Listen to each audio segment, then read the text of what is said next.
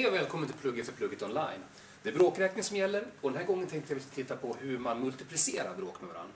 Och det är så här att då ska ni jubla lite grann för att det är faktiskt enklare. Det är enklaste sättet man räknar bråk just med multiplikation. Mycket lättare än plus och minus och, och delat.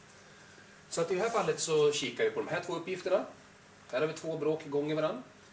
Fyra femtedelar multiplicerat, alltså gånger två tredjedelar. Och här nere har vi ett heltal, tre gånger ett bråk, fyra femtedelar. Då ska vi kika hur man gör.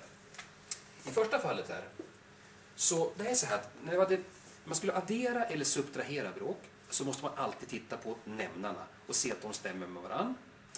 Men när det är multiplikation så spelar det ingen roll, utan det är bara att köra på.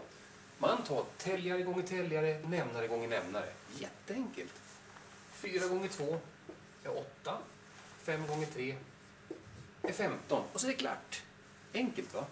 Sen kan man ju kolla på svaret här. Går det att förenkla svaret? Går det att göra lite mindre, lite enklare helt enkelt? Och kikar vi här, 8 det går att dela med 2 och 4 exempelvis. Och 15, ja det går att dela med 5 och 3.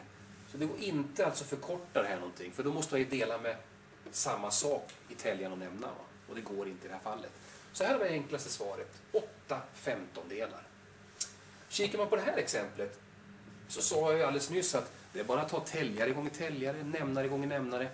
Men där finns ju liksom ingen täljare och nämnare. Och då känns det lite svårt kanske. Men då fixar vi till det. Släng dit en etta under sådär så har vi ett bråk där också. För jag menar tre delat med ett, det är fortfarande tre, eller hur? Och så tar vi täljare gånger täljare och nämnare gånger nämnare.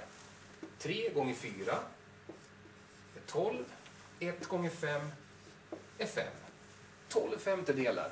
Och så kollar vi, kan vi förkorta, snygga till det? 12 det går att dela med, ja, det går att dela med 6, det går att dela med 3, det går att dela med 4.